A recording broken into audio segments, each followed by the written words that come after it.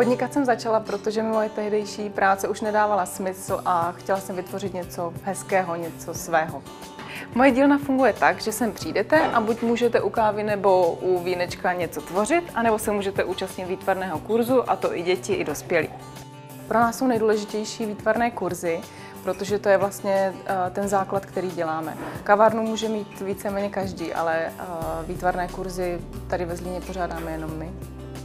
Velice oblíbené jsou u nás kurzy keramiky, floristiky a z volného tvoření je to například malování na sklo nebo na porcelán. Zuzčin projekt eh, byl perfektně rozpracovaný už v momentě, když jsem se k němu dostala jako porodkyně za Zlínský kraj. Eh, Zuzka nás určitě přesvědčila i svým nadšením a osobní prezentací o tom, že eh, její projekt patří mezi špičku v tomto kraji. A ještě bych chtěla vypíchnout, že Zuzka jako vystudovaná marketačka umí jednak cílit perfektně na své potenciální zákazníky a rovněž perfektně prodat jednotlivé kurzy a jarmarky, které pořádá. Rozjezdy mi dali uh, kontakty, protože teď spolupracuju s několika rozjezdáři. Rozjezdy mi rozhodně dali skvělou publicitu a velké zkušenosti.